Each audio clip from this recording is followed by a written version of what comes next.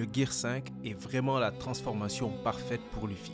L'épisode 1071 vient de sortir et on se rappelle de la première apparition du Gear 5 dans le manga et de la déception que certains fans avaient ressentie quant à cette nouvelle forme.